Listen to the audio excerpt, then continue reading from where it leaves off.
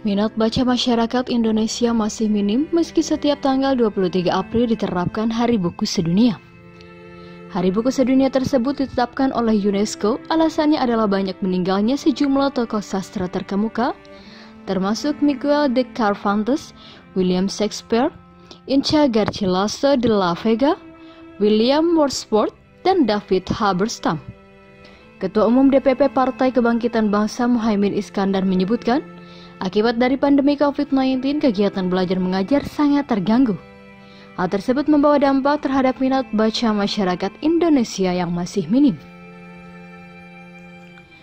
Dia mengatakan minimnya minat baca masyarakat Indonesia merupakan masalah mendasar yang memiliki dampak sangat luas bagi kemajuan bangsa Indonesia. Karena sebagian besar keterampilan dan pengetahuan modern akibat dari banyaknya membaca.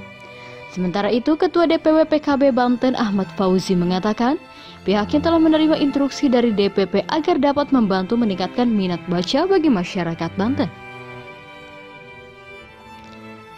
Meski pihaknya belum mendapatkan data pasti terkait minat baca, akan tetapi diyakini bahwa minat baca di Banten masih rendah.